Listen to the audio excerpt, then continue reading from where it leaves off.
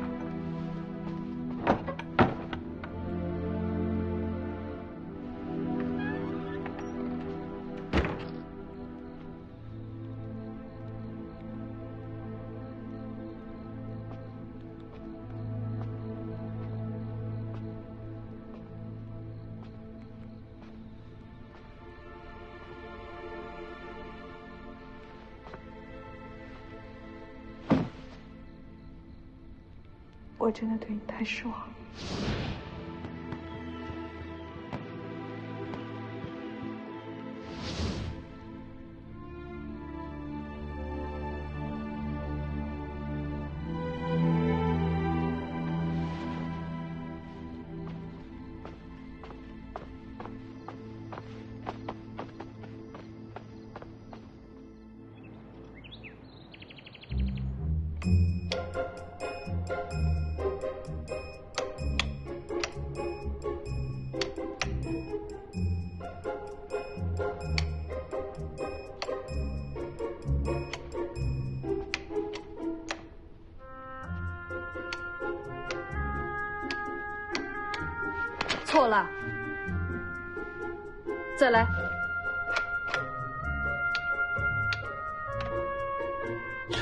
算盘也太麻烦了。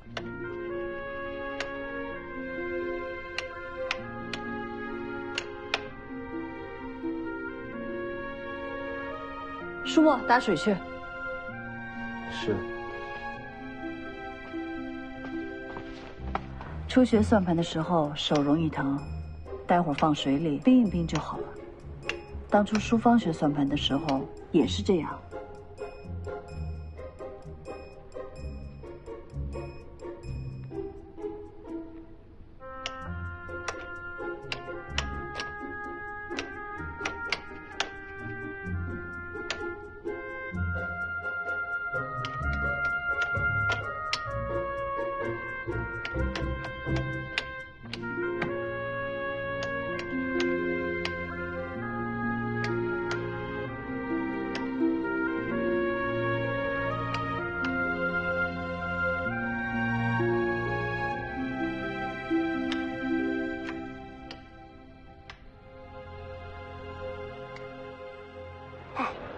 说了吗？人家现在呀是姨娘当家。嗨，人家奶奶现在还有什么脸面出来当家哟？她被打板子那天，可是全苏州城的人都看见喽。哎呀，茶楼马上就要出新的话本，专门说这故事呢。你这可都是老黄历了。人家出面，谁敢得罪啊？你就是给那说书先生十个胆子，他们敢说呀？那还能管得住人家的嘴了呀？管不住你们的嘴是吧？我认识你们，你儿子是清月坊的伙计，还有你，你儿媳妇是清月坊的绣娘，大奶奶平日里对你们不薄吧？大爷，我们就是说说闲话，并没有恶意的。没有恶意，揭别人伤疤，把别人惨事当做谈资，还叫没有恶意？大爷，天地良心啊！我们是真的没有恶意。大奶奶被冤枉那天，我们可都是跟着下跪求情的，街坊邻居们都看到了呀，他们可以作证的。是啊是啊，他们两个真的去了，替大奶奶喊冤枉，喊得可大声了，我们都看到了。是啊，我们都我们都看见了，去了。大奶奶是好人，我们都知道的。那你们两个，为什么还要在背后说别人闲话？大爷，知乎代表们都来了，请。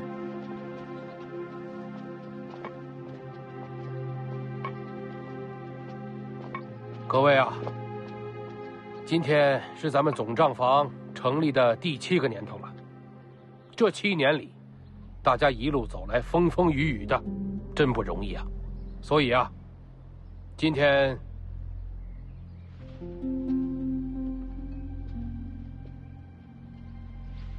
今天在这里，想请大爷写篇文章，把咱们大奶奶、总账房，还有咱们苏州十万支户的事、经历，都写一写吧。是啊，大爷，对啊，大爷，写一写吧，写下来吧，大爷，就是啊，大爷，多不容易啊！是啊，学堂必须要写呀。这些日子以来，就连学堂里的好多小娃娃都在问，七嘴八舌的，说什么的都有。是啊，大爷，这坊间呐，人多嘴杂，这什么正经事啊都说不清楚。可是说起来那些闲言碎语，那一个个是绘声绘色，唾沫横飞呀。这不仅要写文章，还得刻碑，让知户的子孙后代都记住。没错，是，对，要记住啊，要记住，就是。大爷，写吧。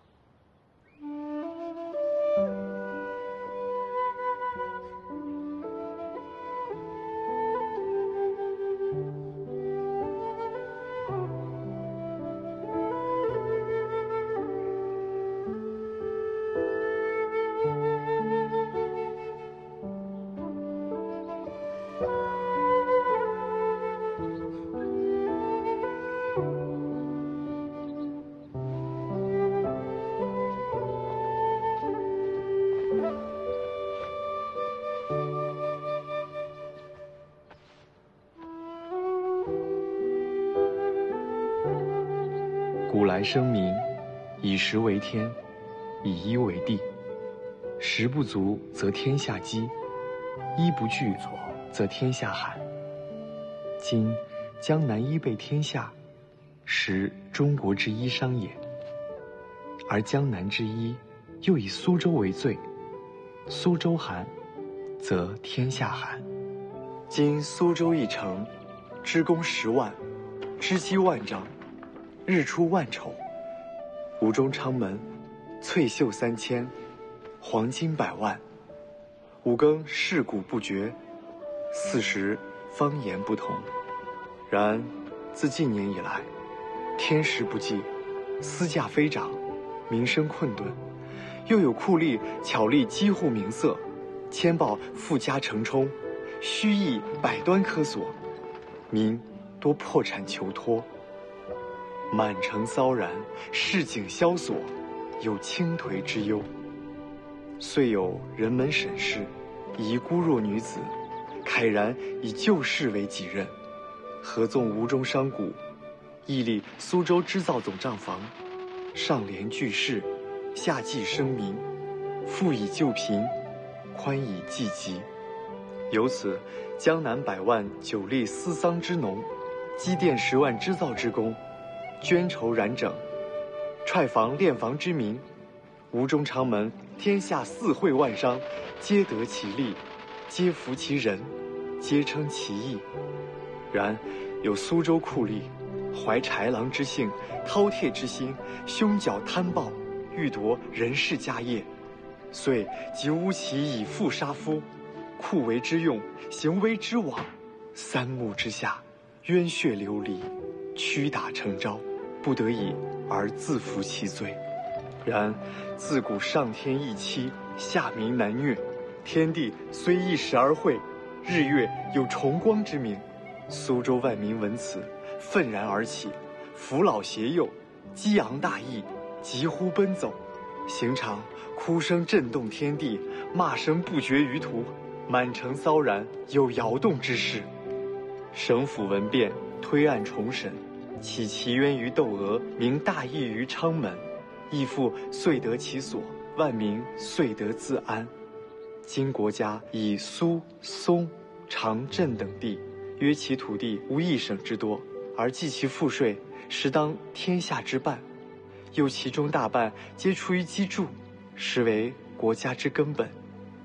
苏州私业之萧条，实为国家大害也。苏州之众，私业之重，重于泰山。酷吏不明天时，不识人和，不念天恩，因怀诡谲，污垢良善。赃贿无度，实国之大贼也。下民易虐，上天难欺。行商虽富，上受天恩，下受民养，当出涕自省，以民生为生，以明念为念，终日前乾，夕惕若厉。未戒后者，乐时已尽。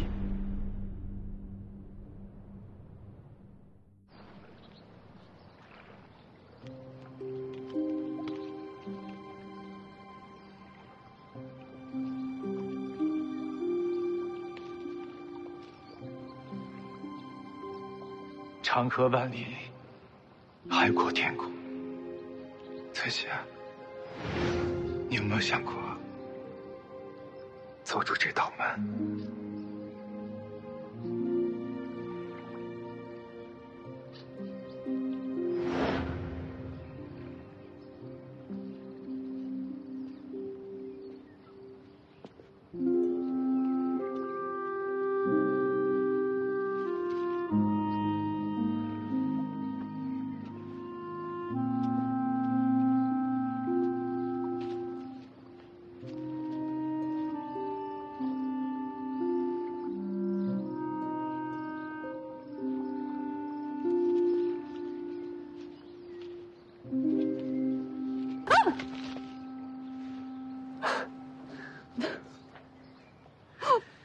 吓死我了！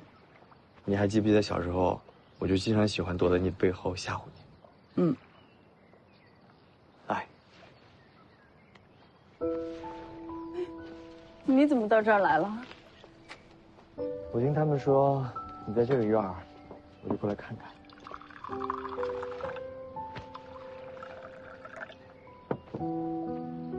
这个院子倒是一丁点都没变。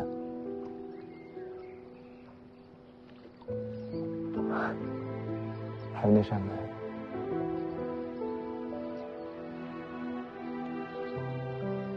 苏州城人尽皆知，大爷是最好的夫婿。从前我是不信的，直到那一天，你看着我大逆不道、破了规矩开了那道门，却是连一句责备的话都没有。是你给了宝琴一条活路，我就本该谢谢你。我怎么会怪你呢？曾宝琴聪慧机敏，至于我沈翠喜，一意孤行、胆大妄为，却是因你之过。两个女人不守规矩，怎么成了我的过？自然是因为大爷率性而为，以诚待人，从不把那些规矩礼教放在心上，才有了我和曾宝琴的任性。你对我。对宝琴的好，我是知道的。我心存感激。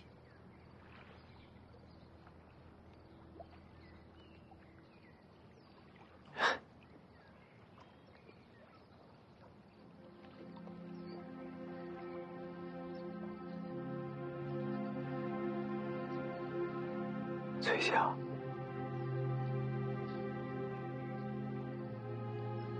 我就是觉得。我欠你太多。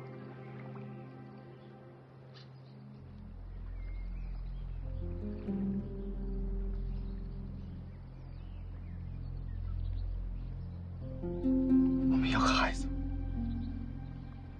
一个女人这一辈子总是要有一个亲生儿子傍身，这样你就可以带着儿子守住人家。我带上宝器和修山，远远去上任。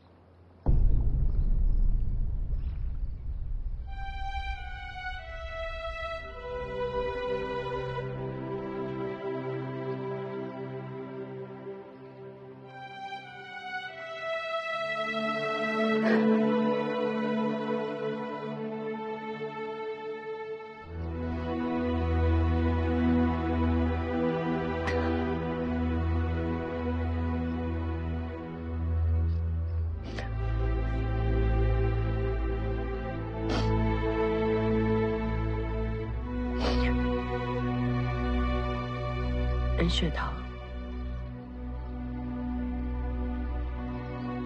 我们和离吧。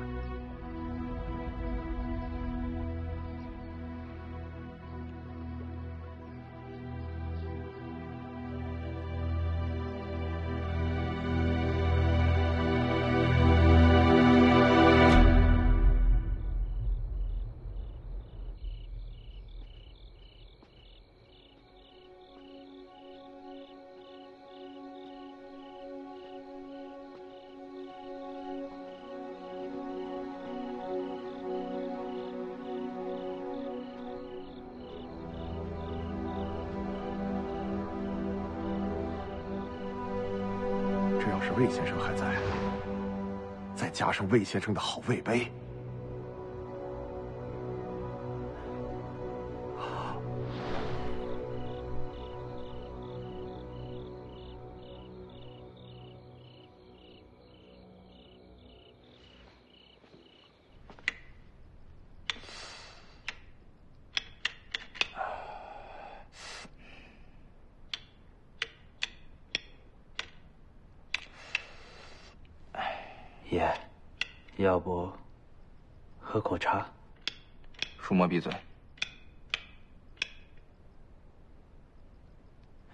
你可别打了吧，你的手都肿成这样了。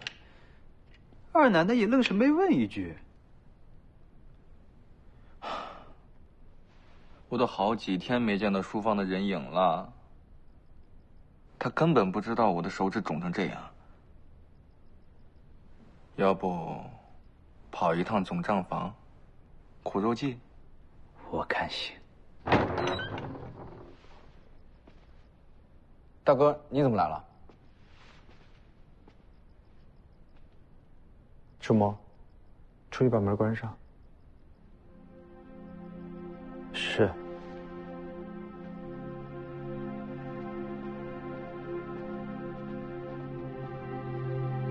大哥，坐。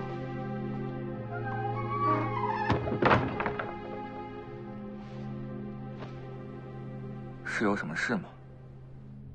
如芳，跟我讲讲魏良公的事儿吧。啊，魏先生都走了好久了，也没什么好说的。你大嫂跟我和离，和离？为了魏先生？不是，大哥，你听我说啊，大嫂跟魏先生清清白白，什么事都没有。你不要听外面的人风言风语、胡说八道，误会大嫂。我说的是真的，别这么看我。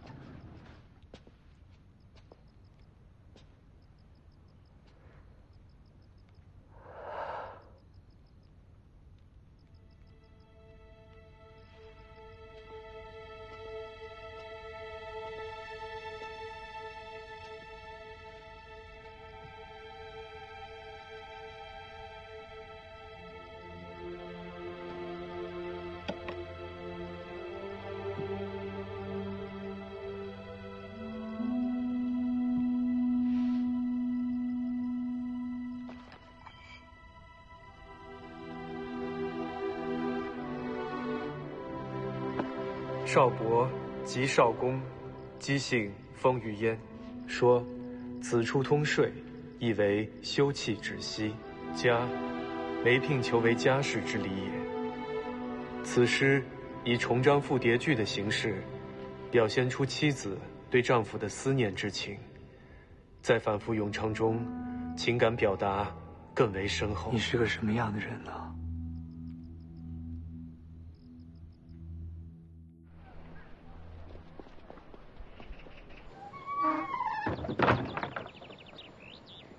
哎呦，大爷，呃，哦，大奶奶放他出去了。大奶奶去哪儿了？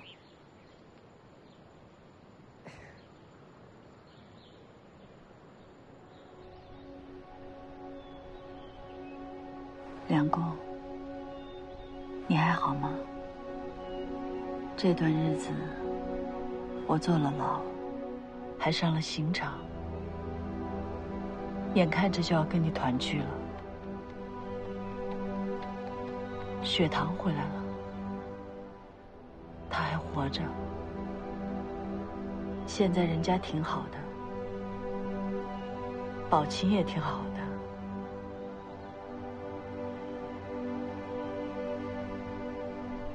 我也很好，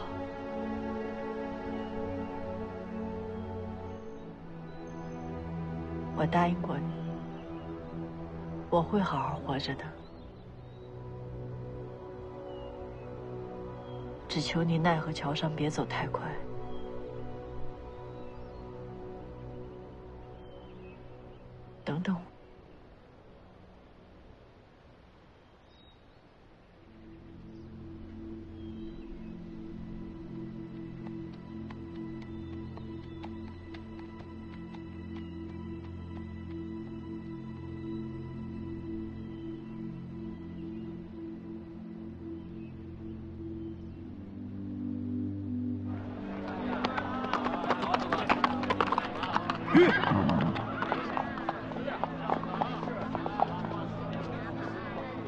大爷，您回来了。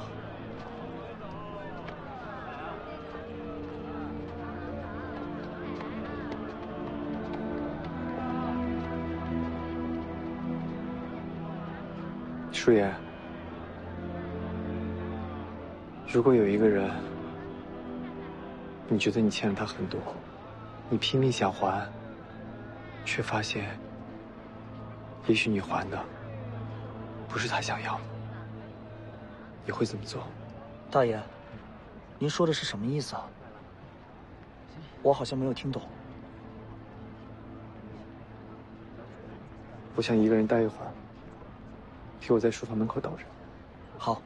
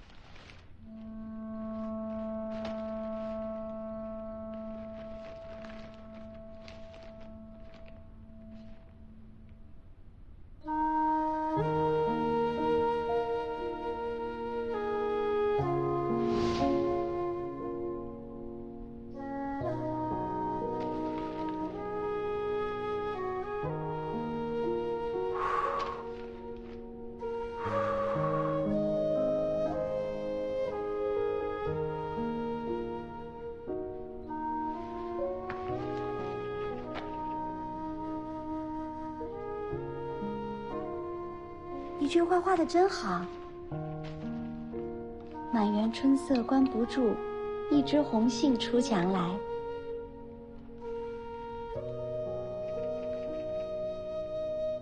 虽然园内百花未着一色，可是那闹人的春意却跃然纸上。我呢，就盼望着你的克斯技艺可以早日达成，可以将这丹青之妙呢重现在克斯之上。可是我手笨，再说我学缂丝的时间又短，你恐怕要等上一阵子。你为什么不请姐姐帮你呢？他哪里会懂这书画之妙呢？便是一比一的复刻，也只不过就是一些呆板无趣的临摹，哪能得到这画的精髓呢？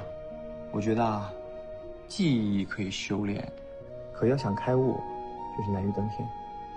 所以呢，我觉得人家的缂丝技艺要想发扬光大，必须要靠你这样有灵性的人可。嗯，但确实画的好，我喜欢。嗯，送你了。啊？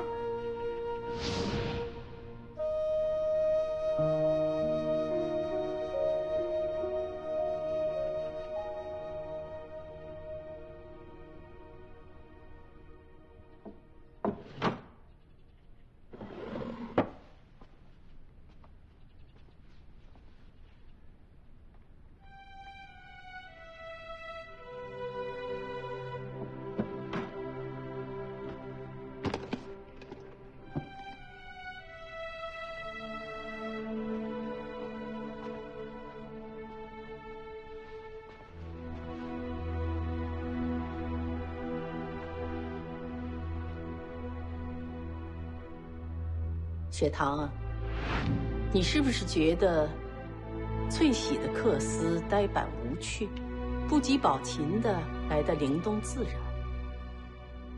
雪堂，缂丝知道，出来的作品灵动固然重要，但要一直走下去，日复一日的缂丝，不停的磨练自己的技艺，才能真正达成。可那样出来的缂丝，匠气十足，没有灵性。世人总是看不上匠气，却不知道，当匠人把技艺磨练到了极致，就能突破匠气，灵动自然。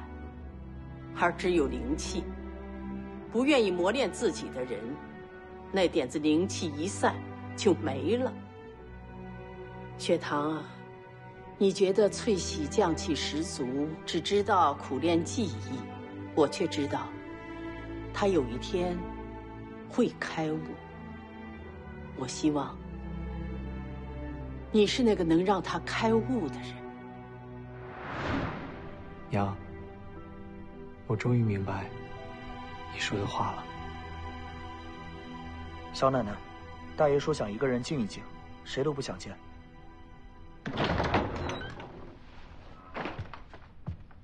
雪堂，到底发生了什么事？翠喜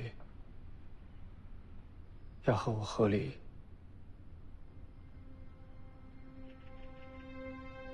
怎么？这事儿你事先知道？姐姐什么都没跟我说过，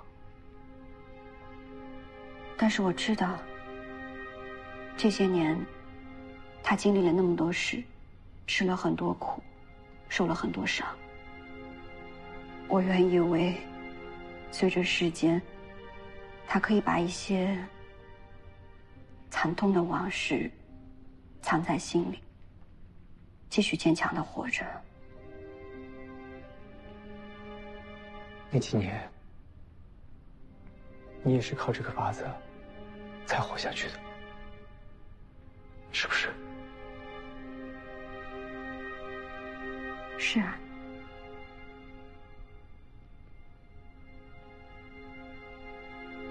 我去找姐姐好好谈谈，她不能走，不能离开人家。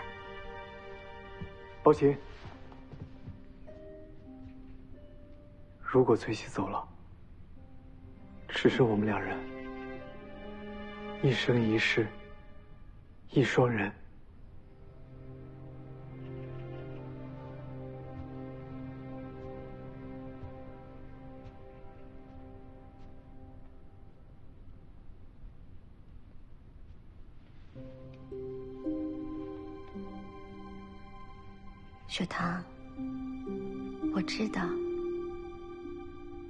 翠喜在你心里其实是血肉相连的亲人，你是离不开他的。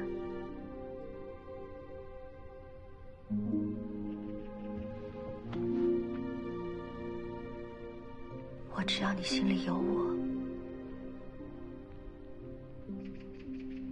你心里有我就好。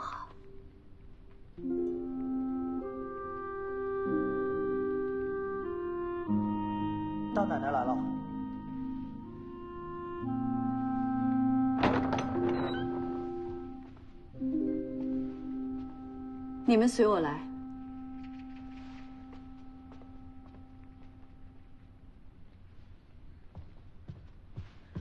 小二，来碗面，来了。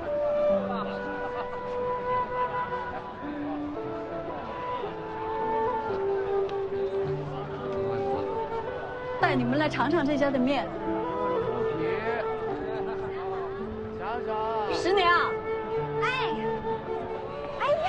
沈姑娘，稀客呀！我带他们来吃碗面，我要大肉面，还要两碗素面。没问题。哎，你们啊，跟我到楼上去，这儿人多啊！来来来来，来来来，坐这儿坐这儿，嗯，这儿清静。大爷坐。哎，坐。沈姑娘，您可真是有日子都没来了呀！是啊。哎，这位就是任大爷吧？死而复生，这苏州城里无人不晓，无人不知的。以后多多关照我生意啊！一定。老板娘，结账。哎，来啦！你先去忙你的。好的，你等着我啊。嗯嗯。翠溪，这位是？当年大爷落水的消息传出来，我找到杭州陆羽十娘，一见如故。她原本是杭州富商的女儿，后来跟一个京城来的举人好上了，好不容易征得了父母的同意。拜了堂，成了亲，欢欢喜喜的上了京城，才知道，原来那个举人有妻有子，跟十娘好，不过是为了她丰厚的嫁妆，钻山打洞要去谋个肥差。就有这种事儿，那举人叫什么？不用你费心，十娘用了十年的时间，搜集了那个负心人贪腐的证据，让他坐了牢，家财散尽，从此他便离开了京城，到了这儿，开了这家面馆。沈姑娘，来，面来了，来趁热吃。哎，这是啊肉面，给任大爷。那你们趁热吃啊，有事就招呼我啊。嗯，哎，谢谢。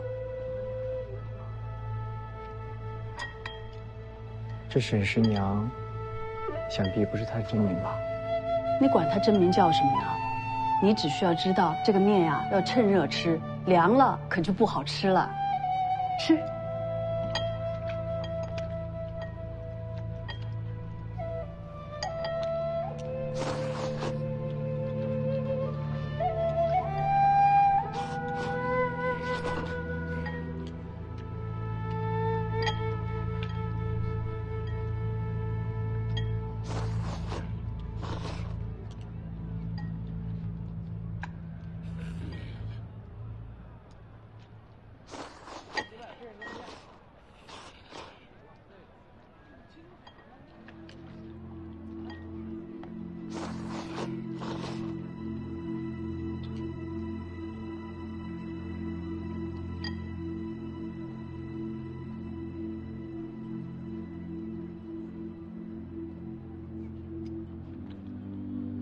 姐姐，你不要说话。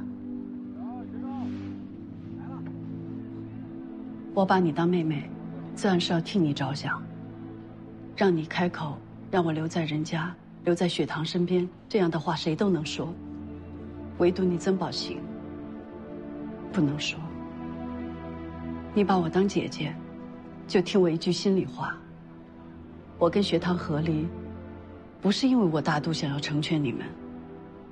恰恰相反，是因为我自私，我想任性而为。翠西，我学克斯，受苦受累。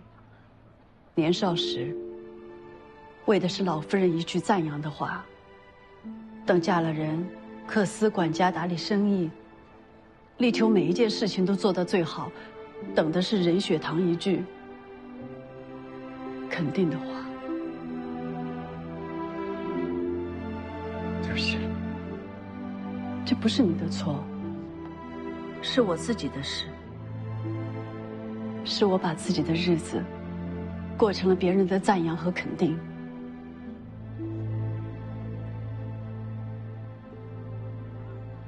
是我对不起你。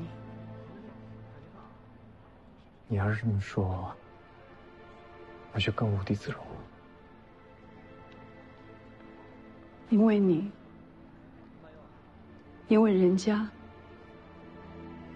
才有了现在的沈翠喜。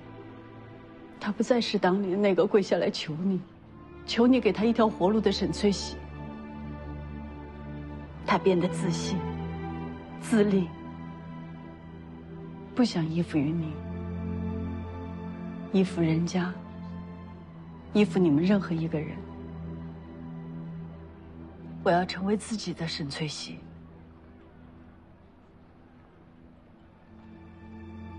任雪堂。成全我吧。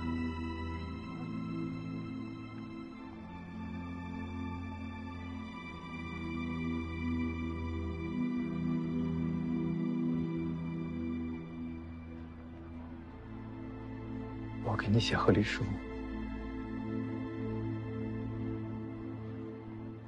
我成全你。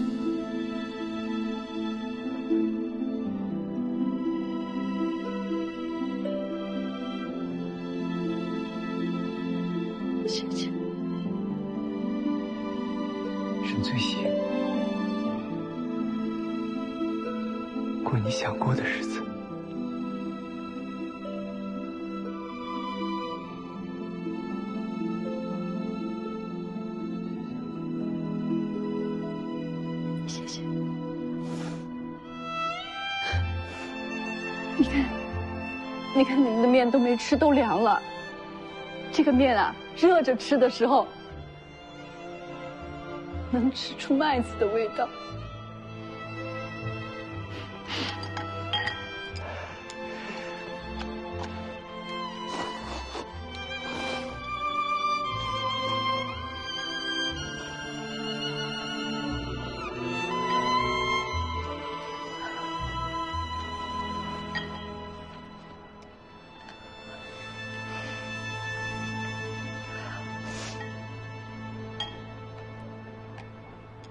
谢谢。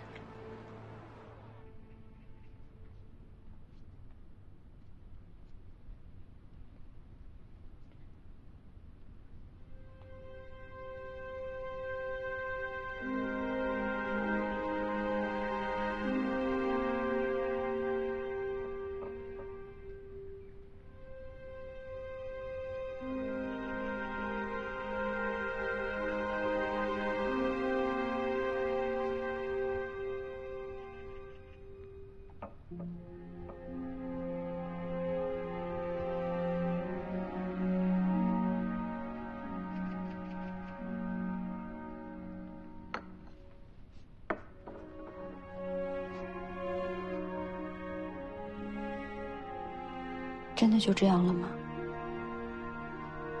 给姐姐写和离书，就让她这么离开人家了？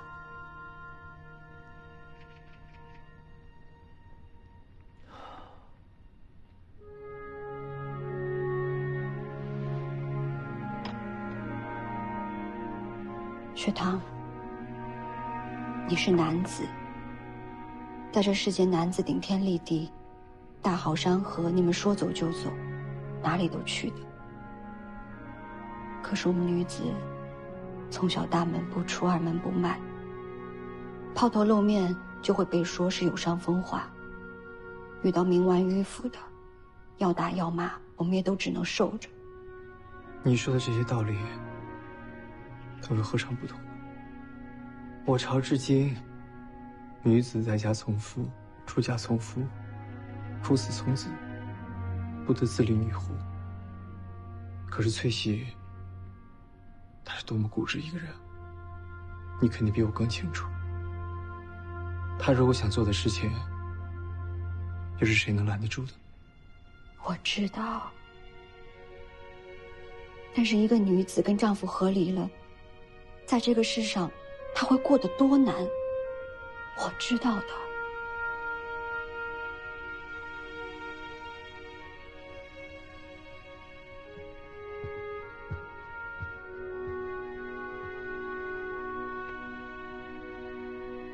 好了好了啊，你的担心我都懂。就这么想，也许他在外面吃点亏，自个儿会回来呢。那现在也只能先这样。